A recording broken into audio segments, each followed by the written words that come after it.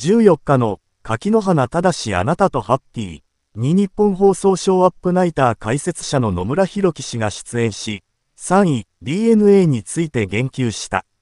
3位 DNA は2位、阪神との2024ジェラクライマックスシリーズセファーストステージ2連勝でファイナルステージに駒を進めたが、初戦に先発したエース東勝樹は負傷交代し翌日に1軍登録を抹消。さらに2戦目には宮崎敏郎が負傷交代とアクシデントが相次いでいる。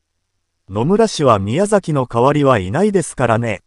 そこをどうやりくりするかですよね。不安要素もあるわけですよ。東がファイナル無理。